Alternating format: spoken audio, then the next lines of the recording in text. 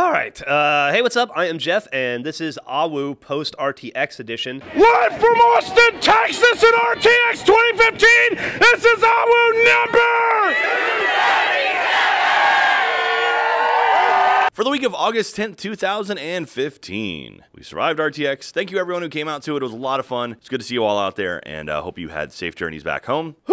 We survived RTX. What a weekend. Jesus Christ. Gonna go ahead and start off by apologizing immediately. I know we said that we would announce the contest winners for the Ryan the Slide Guy contest from our crazy trip to Berlin, Germany, where Ryan threw caution and safety to the wind and risked his life to go down the world's most dangerous slide. However, uh, with RTX, we were just slammed. I'm sorry, guys and girls. We will do it next week. I promise. I know I promised last time, but this time I mean it. I guess I meant it then too, but So we had our subscriber drive, and it ended yesterday. And right after, or when it ended, we hit about 670,000 subscribers. That is fantastic.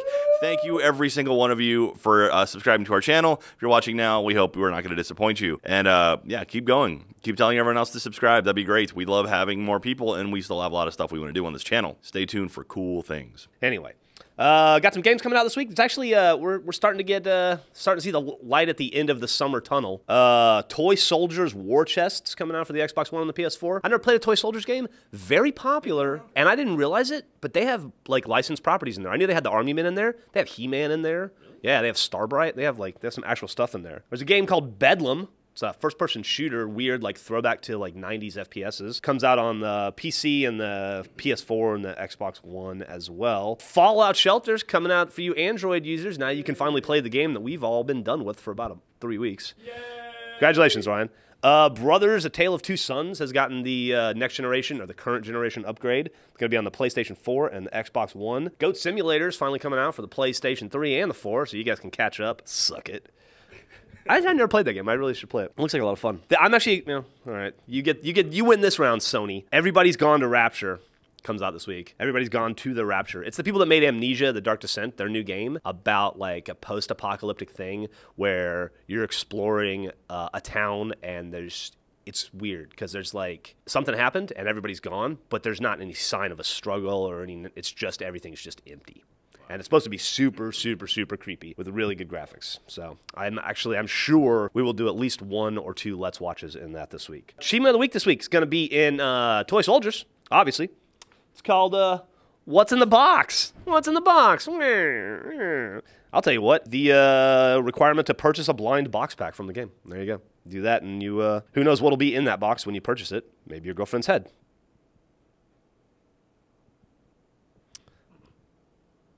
I see the resemblance. The fan art of the week, uh, I already showed you. It was uh, a cool ass sculpture of me, and then there was a dick. And then these are good too. A lot of fan art this week. Enough to sustain us till next RTX. Uh, I guess community time. We could do some community stuff. Community is awesome. We'll get back to you next week with a video. That's exactly what Jack said I should say.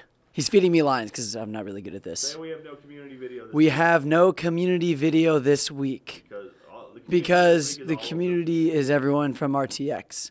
This guy's cute. Yeah. I guess that's it for me. You guys want to talk to Jack? All right, so as far as news goes this week, I'm doing news off the top of my head that I learned at RTX. Yay! Are you ready? Let's go. Number one, Rainbow Six Siege. They showed off PvP mode for the very first time. And the way they demoed PvP mode was by having Achievement Hunter, which is us in here, your Austin based crew, versus Funhaus, who is, uh, they're not in here. They're all douches who live in Los Angeles. Uh, yeah, and so anyway, we did a best of uh, three rounds, and uh, Achievement Hunter destroyed them handily. They got to play with their mouse and keyboard. We played with controllers and still beat the hell out of them. So, that being said, Rainbow Six Siege is probably the best game I've ever played in my life. It's pretty, uh, pretty fantastic. That's really great. So, check that out when it comes out later this year. You get to drive robots. Drive robots. Little, they look like the uh, the things you go at the bank and you put in a little tube. And they go whoop. And they go up. And that's what they look like. Uh, also at uh, at uh, RTX this year, we announced a couple new shows over in the podcast section, the broadcast section. We announced Sports Ball, a new sports show, and a Q and A show. So check those out. They'll be coming soon. And Ryan's gonna do a show called Free Play. It got picked up, I think, right? Sure. Yeah, it's two it's two shows a week, and it's Ryan being goofy because we know how goofy Ryan can be. Not at all crazy. The dark god Ryan, which is wow. Yeah. Have an arc. And last but not least, uh, I got to play some Assassin's Creed Syndicate live on stage and uh, and also uh, behind the scenes and uh, learn some cool stuff about that, including the fact that now you can swap between Jacob and Evie Frye. Those are the two main characters. When you're playing the game, just kind of walk around the city, you can swap between either one of them. Only in the sort of major story missions are you kind of forced to play one or the other. So if you want to play one and just like buff the heck out of that person, you can. So if you like like Evie more than Jacob or vice versa, they have different skill trees and uh, they also can level differently. They level independently of each other. So that's pretty kick ass, and I'm very, very excited for that game. It looks awesome. All right, and there was other stuff at RTX, I'm sure that got announced, but I was so busy running from place to place and signing autographs and doing fun stuff, and uh, it was awesome. Thank you, everyone who came out. It was a blast. We love you. We'll see you next year to do more of it. Okay, I'm gonna go fall asleep. You guys want achievement? Uh, we already did achievement of the week. You guys want a video of the week? It's been getting harder and harder, Jack, and I'll tell you why. Our content is just too good. It's so good. It's so good every week. It's so hard to pick which is my favorite baby. So this week, I decided to pick one that I had nothing to do with. The brunette. Yes, uh, the little green-eyed kid. Uh, it is, it is. Uh, let's play Star Wars Part One. Michael and Ryan, Kirk and Spock. Yeah, transparent aluminum. Transparent aluminum? Transparent aluminum alloy. There you go. How do you know he didn't? Were you guys Kirk and Spock? Kirk and Spock. Spock, Kirk, and Kirk Spock. Spock, Kirk, and Kirk Spock. Those guys had a good good time playing that game. They're all they get all glowy when they talk about it and how there's five parts and how they can't wait till everybody else gets out of the office so they can get back to it. So uh, yeah, go ahead and give that a try. It's doing pretty well actually. For uh, how old is that game? Two two years old maybe. Hmm. All right, there you go. See you next week. From the beautiful province of Quebec in the, in the city of La Malbaie, welcome to AHWU 277 from my very first home in the province of Quebec. From Kings Island, Diamondback, Ohio, AHWU 277. From the DMZ, this is AHWU number 277. This is Arwu, number 277, coming to you from Dawlish Devon, outside of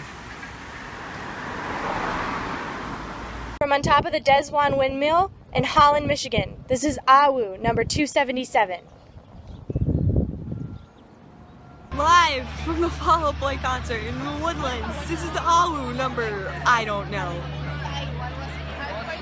From atop the Bird's Nest Stadium in Beijing, China, this is AHWU number 277. From the Cape of Good Hope, South Africa, you're watching Awu. From SeaTac International Airport, prepping to fly to Austin for RTX 2015, this is AHWU number 277.